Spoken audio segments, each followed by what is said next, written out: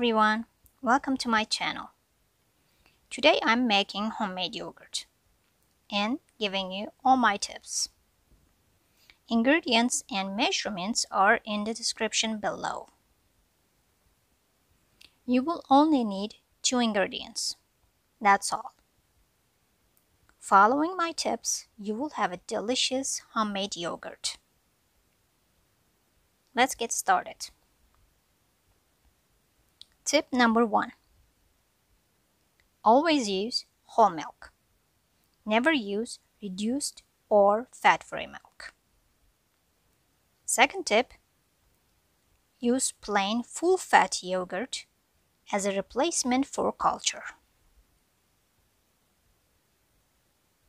Third tip Let your milk boil at least 15 minutes on low temperature, stirring occasionally.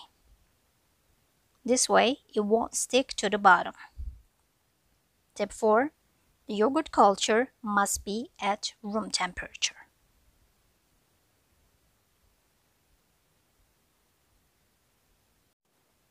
After your milk has boiled, take it from the heat, wait 5 minutes.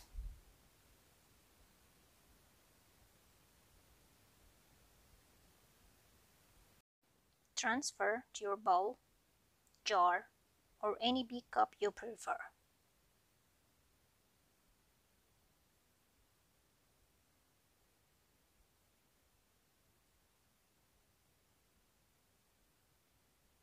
As you can see, didn't stick at all to the bottom.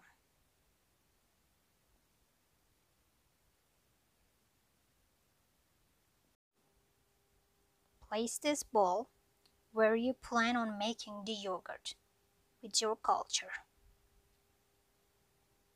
Let it wait there until it becomes the right temperature.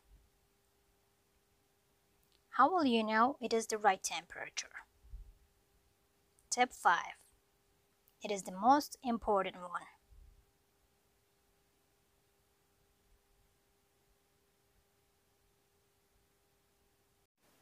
You can check the temperature with a kitchen thermometer. It should be between 115 to 118 degrees Fahrenheit. Or you can dip your pinky finger inside the yogurt to check the temperature. This is a tradition passed on by our mothers. If you can count to 6 with a little discomfort, it should be at the right temperature. You will need to be quick here. Mix it your culture to make it smooth Add 2 spoons of milk into this to make it warm. Mix it together and add it to the milk in the bowl. Then mix them all.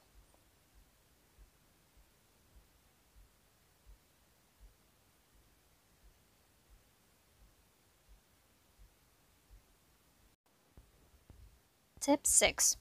Put the lid on loosely and cover the yogurt with a couple of towels and a blanket it shouldn't be cold. After 6 hours, open the lid and put it in the fridge at least 12 hours without a lid or cover.